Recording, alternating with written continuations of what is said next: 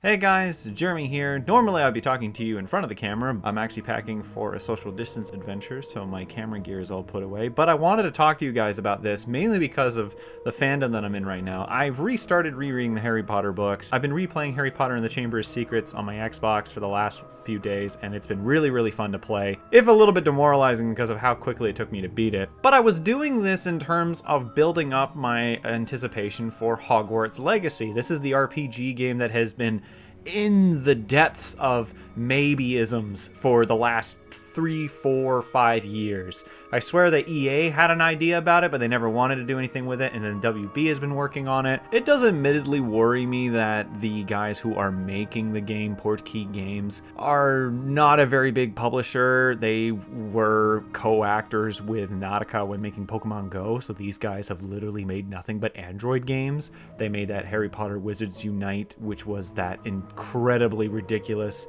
microtransaction-filled version of Pokemon Go, but with Harry Potter slapped on it. It is being co-developed by a team called Avalanche Software. And admittedly, I thought these guys were the guys who made the Mad Max game, but that's Avalanche Games or Avalanche Studios. This is Avalanche Software. Th they have a bit of a checkered history. They've made some good games. They've made some bad games. Um, for instance, some really good games.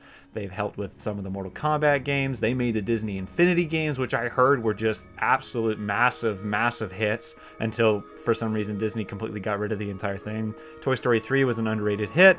They also did 25 to Life, which was a terrible, terrible crime game. The fact that this game is being made by two people who really don't have much kind of under their belt is a little bit discouraging, but otherwise I was still very excited for it because it is a RPG game at Hogwarts. For those of you who never got to play the movie tie-in games, really the only ones that really let you explore the Hogwarts as it was was the remake of Philosopher's Stone, Chamber Secrets, Prisoner of Azkaban to an extent, and then I think it was either Order of the Phoenix or The Half-Blood Prince, one of those two. They both were pretty empty, but they were kind of visually like, oh, this is what's Hogwarts like. This is going to be a game, a big one. However, WB did announce that there is going to be a delay, and this is on an article from Collider. Now, admittedly, I'm actually not as upset about this, just because of what's happening with Cyberpunk 2077. Admittedly, it is still a little bit of a disappointment considering how I have to wait another year now now. As the article here on Collider, the Harry Potter game Hogwarts Legacy, originally due out this year,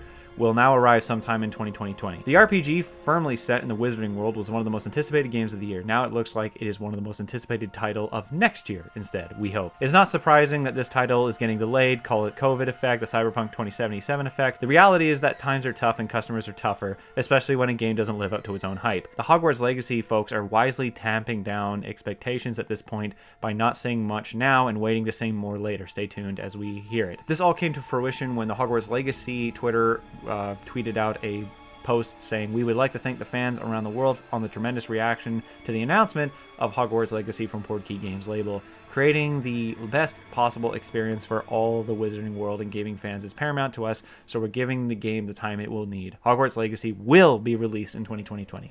But I can't really be upset about this considering what happened with 2077.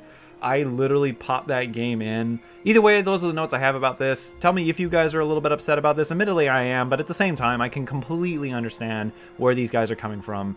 And considering these guys do not have a lot of experience, especially Portkey games, and considering they're going from phone games to a full-on third person RPG game. Thankfully, most of the development is being done by another studio, and Portkey Games is kind of the publishing label, but I am still a little bit skeptical because of the lack of experience. Here's hoping that these guys aren't going to jump the gun and we're going to get an experience that's going to be fun. Anyways, guys, that's all for me. I hope you enjoyed this video. If you did, leave a like, and if you're interested in more, subscribe. Otherwise, see you guys next time. Thanks for watching the video. My name is Nitz, and you might remember me from the animated cult classic TV show Undergrads. It's been a while, but I'm happy to say the Clique is finally getting back together in an all new movie, thanks to a successful Kickstarter campaign.